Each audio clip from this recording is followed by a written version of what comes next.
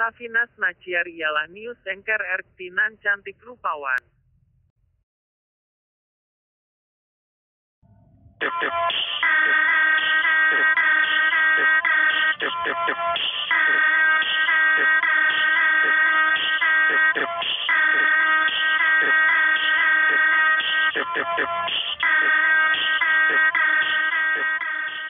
Mayat bayi di depan sekolah di Bekasi, Jawa Barat. Seorang wanita muda terekam CCTV saat membuang mayat bayi yang baru dilahirkannya.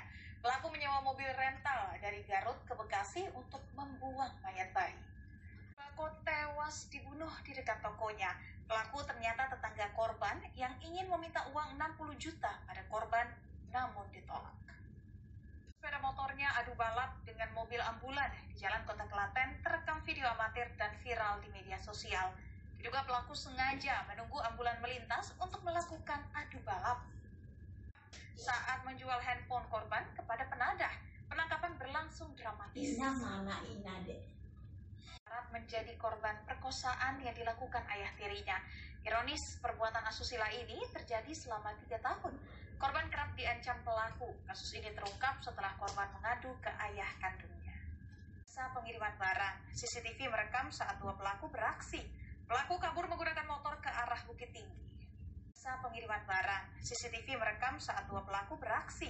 Pelaku kabur menggunakan motor ke arah Bukit Tinggi. Online, setelah sebelumnya pelaku meminta korbannya membuat konten di TikTok dan diberi imbalan Rp50.000.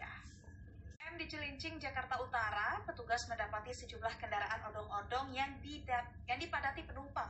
Tujuh sepeda motor yang dimodifikasi diamankan polisi. Pusat menangkap penjual tabung gas online dan regulator